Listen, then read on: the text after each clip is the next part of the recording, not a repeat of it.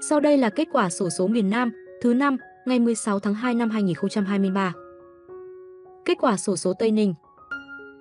Kết quả sổ số An Giang. Kết quả sổ số Bình Thuận.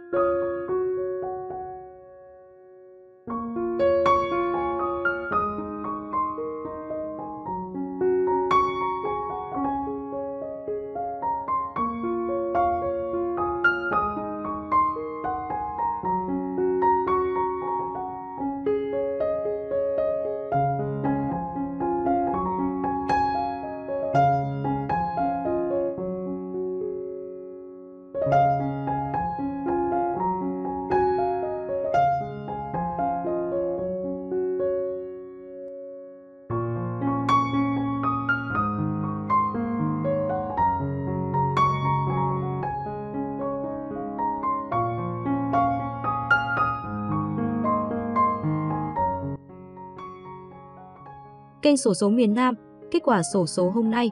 Xin chân thành cảm ơn quý vị và các bạn đã theo dõi kết quả sổ số ngày hôm nay. Nếu thấy thông tin đáng chú ý, hãy bấm nút đăng ký và ấn phím chuông để nhận được thông báo cập nhật kết quả sổ số mới nhất. Và đừng quên bấm nút thích bên dưới để ủng hộ kênh phát triển hơn.